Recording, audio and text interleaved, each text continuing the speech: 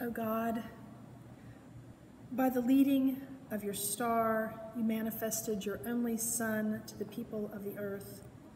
Lead us, who know you now by faith, to your presence, where we may see your glory face to face through Jesus Christ, our Lord, who lives and reigns with you and the Holy Spirit, one God, now and forever.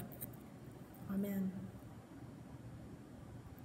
We know the way, guided by the star. We are scientists, seekers with great knowledge, and we have traveled so far. We have studied the sky. It is our religion, our ancient ways. We are priests who seek God, who seek truth, who seek light, insight, revelation, and understanding. We have traveled far across desert, mountain, valley, and stream. The star guides us, tells us where we are going. The brightest star in the sky guides us to Bethlehem. Our faith and our tradition tell us that the star will show the way to a 15 year old virgin who has given birth to the Holy One, the Messiah. And we have come prepared, prepared with gifts fit for a king.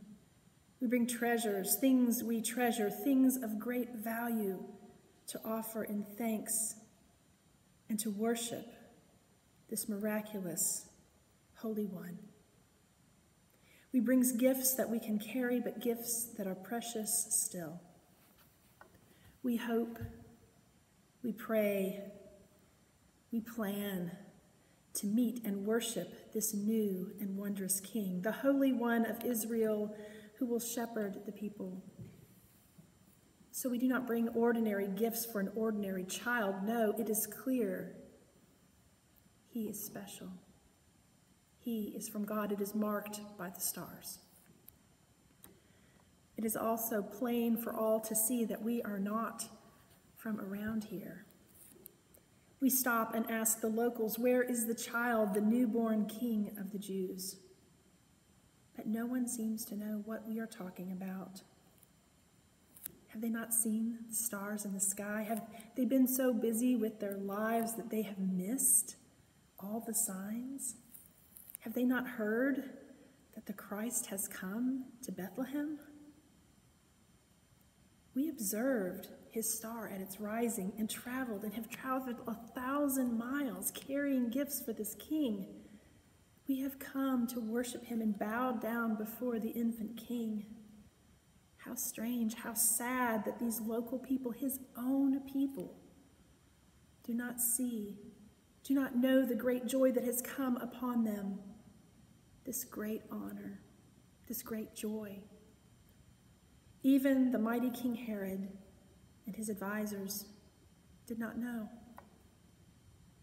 But we were looking, seeking.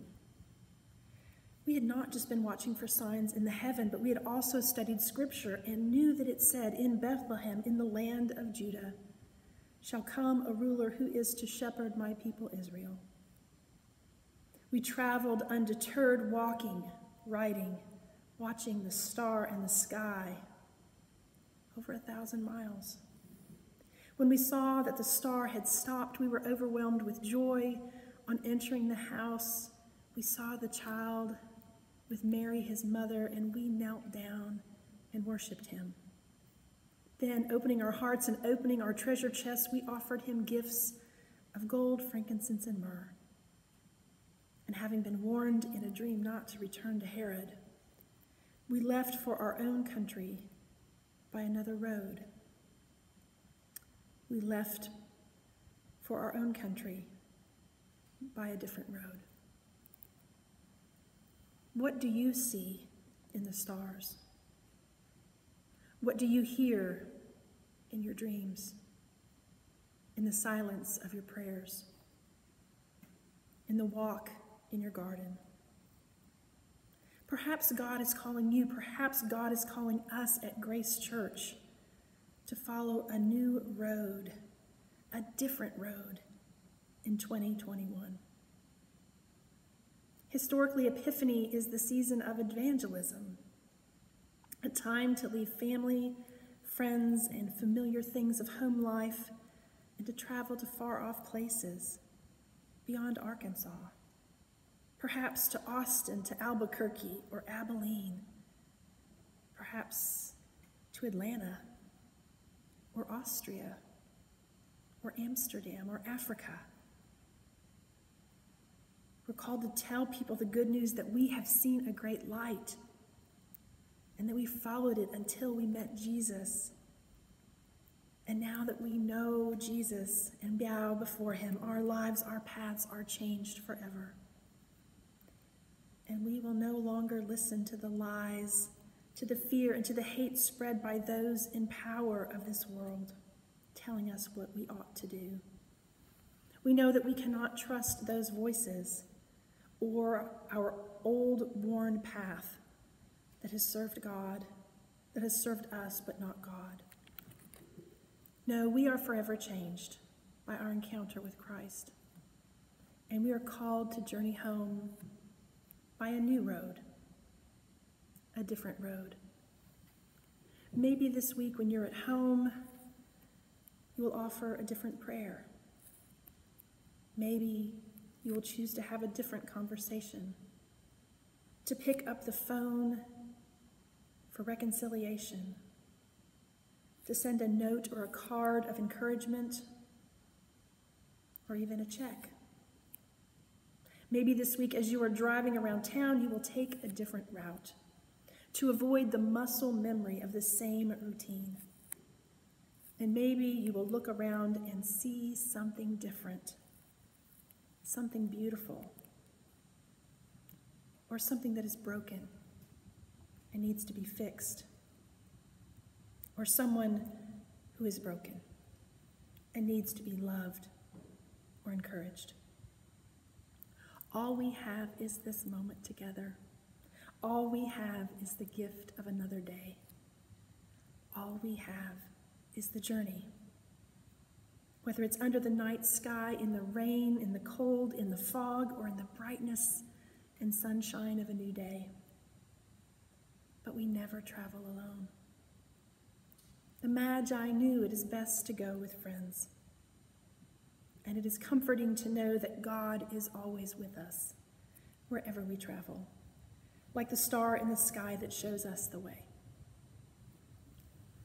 What will you bring on your journey? Where will you stop along the way? Who will guide your footsteps? What will light the way? What will you see as you travel? What beauty and brokenness will you find? Will you choose to open your treasure chest and share the love and gifts inside? Who will travel with you? Who will you meet along the way? Who will you invite to join you? Who will you ask to stay? And when the journey has ended and when the day is done, will you find your life and faith have grown because you chose to journey home by a different road? Amen. Thank you for joining us this morning at Grace Episcopal Church in Pine Bluff, Arkansas. I'm the Reverend Stephanie Fox, and I'm so glad you joined us. I'd like to close us with a poem by John McLeod entitled It's the Journey That's Important.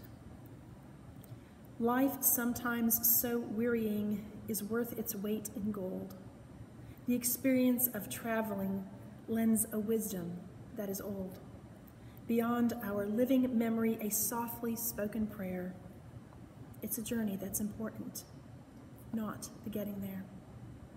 Ins and outs and ups and downs, life's roads meander aimlessly.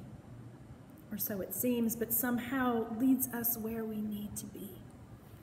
And being simply human, we oft question and compare is the journey so important, or the getting there?